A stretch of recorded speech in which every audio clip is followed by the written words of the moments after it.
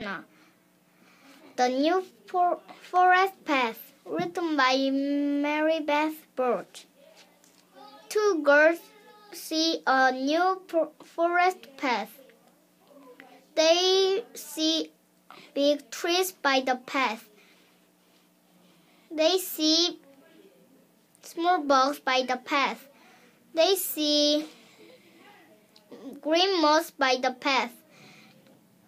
They see brown birds by the path. They see old leaves by the path.